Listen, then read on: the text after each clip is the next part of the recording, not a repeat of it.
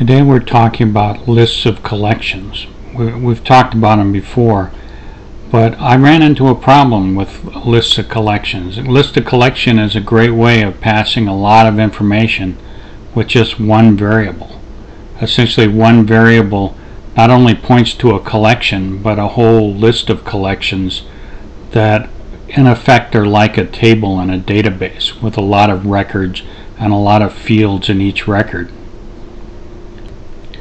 And in this project, I'm sort of emulating a large project by having five different modules. And two of them are form-oriented modules, the Form 1 and Display List. And you recall in my first discussion of list of collections, I essentially went to the code behind of the form. And I just went to the bottom of the form and I defined a second class at the bottom of the form that contain the collection. It's the collection defining class, you might say. And the trouble with that is if you have a big project and multiple modules, you're not able to access that definition.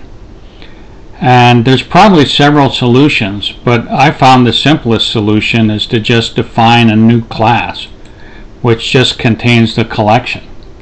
And this makes it global across the whole project. And basically, uh, this collection definition is three levels of abstraction on uh, a name for an archive. And the first level is like uh, archive directory abbreviation, like uh, S01, which is great if you have a list box and you just want to specify what what the archive is but you don't have a lot of space to display it. So you just want to use an abbreviation. And the second level is a short name, which is good if you have a list box for the user to select the archive and you want a name that's not very long so you can have a small list box but also which is meaningful enough that the user will know what you're talking about when you display the name. And then finally you want the uh, archive directory fully qualified name which is what the computer needs if it wants to look up a file in that archive. It'll be something like uh, x colon slash Doug slash Karen slash Chlorine slash static zero one, you know, the fully qualified name so that the program itself can actually find it. And the way we create another uh, separate class for the uh, archive collection definition is you can either go up to projects and left click on that and go to add class or you can go over to the solution explorer and right click on the solution explorer and then click on add and then click new item. And then in the new item select class. And probably the first one's simpler because it's fewer clicks but you know it's a matter of your choice. And then and the second module, the first module is like an input where we're defining the collection. And you can keep pressing update list and keep defining new members until you want to finally display them. And when you press display, that calls this second module, which is a list view that has the three fields, uh, abbreviation, short name, and archive directory. These are defined with the column header uh, editor, of course, which I showed in previous videos on how to define a list view. So if we look at the code behind of the um, input module and the update list, essentially you have uh, local variables which save the values of the three text boxes. First of all, I check if the all three list boxes aren't empty you know or if any one of them is empty since I'm using an OR. So it's saying if the first one's empty or the second one's empty or the third one's empty pop up an error message box that says you have to fill in all three list boxes. And then in the code I saved the uh, text box values into local variables. And then I do a static archive dot add where I do a new static archive def and I'm using random notation to set the values of each of the three fields in the static archive. And essentially up here I have a public list static archive with a static archive variable and a new list static archive. So I'm instantiating the static archive def uh, collection that we defined in a separate .cs module. And then after I add this to the archive list of collections, I uh, increment a scalar variable called uh, element count. And then I convert this element count to a string and display it in another list box on the form. And I clear all three of the input fields and I set the focus to the first input field so we're ready to input the next member.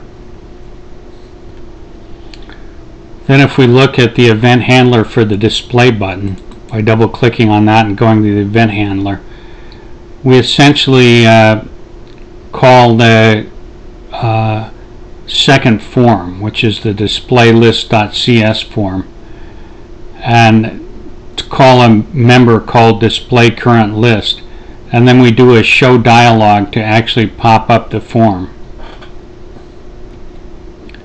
And if we look at the top of the form, we have a display list and a m underscore display list, which defines a reference to the second Windows form. And if we go down to the uh, form load event, you notice we instantiate this member variable as a new form uh, new form. And essentially we pass a this which is the a reference to the current form which is the form 1 uh, in order to establish a connection between the two forms. I've gone into details about this kind of inter-form communication in previous videos so you might check those out but if we, oops, didn't mean to do that. I accidentally opened up the second form in a separate window and then closed that window. So if I want to regenerate the form uh, for this code behind, I can just press Shift F7 and that recreates that form.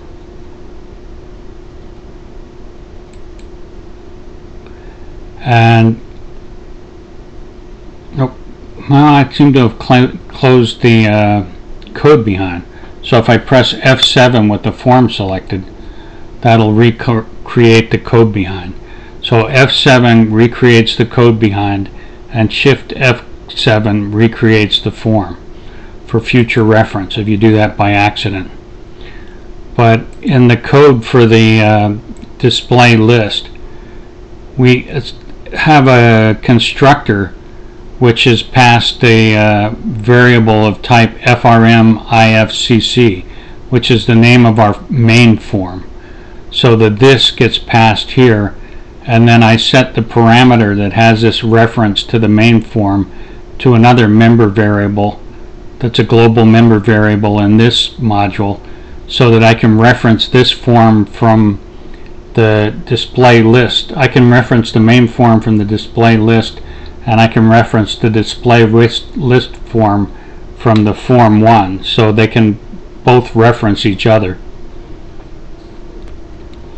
And then in the display current um, method, which we've referenced via a dot operator from the member variable in the uh, form. If you look here, it's like uh, member variable for the form dot display current list. So this gets called before we do the show dialog on the same form variable. And basically in this, originally I actually instantiated a, a list of static archive def variable and then set that equal to the main form static archive variable that got filled in in the input form. And I think that's an unnecessary step because we already have a variable referencing that form. So I can just use the form reference dot and the static archive directly and a for each. And then in the range variable, actually the main reason we need a, a global class definition is this range variable, which is defined as the same class type, the static archive def. Coincidentally, sad. But anyhow, as we go through this list of collections in the SAD, we uh, establish a list view item and set it to the first uh, field value of the current SAD record, and then do uh, instantiate a list view item dot list view sub item, and set that equal the text property of that equal to the second field in the SAD record and the same thing with the third field in the SAD record. We set the a new list view list view sub item equal to uh, that third value.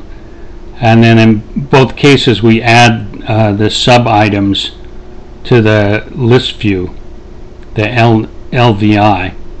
We add the LVSI to the LVI and to uh, LVI sub items dot add methods. And then finally to the main list view display that we created on the form, we do an items add of this list view item that we created and that'll show one row. And as the for each goes on, it'll show all the rows that are in the list, uh, uh the array of uh, collections and the list. So if we compile and run this, our um, input uh, form comes up and say define the first one as S01 and a short name of static 01 and then a, a fully qualified directory reference name is like I colon uh, slash say Mary and uh, Karen and Doug. And then the actual uh, directory name of static 01 and then if we do an update list you see the read-only field of uh, that keeps track of the element number increments to 1 and then we can do like a S 02 static 02 um, x colon slash Glorine Jason Carmel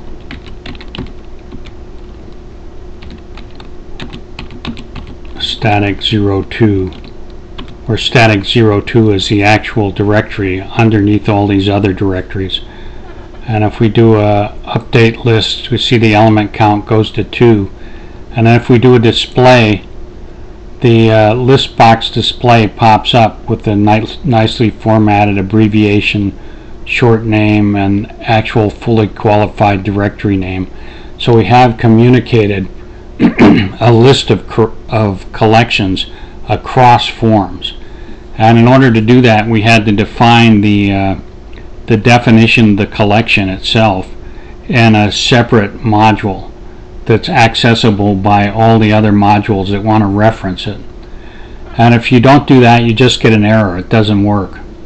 So that's the main point of this uh, video. Well, I hope I didn't ramble too much and that you enjoyed this video and learned a lot. And I'd appreciate it if you'd subscribe.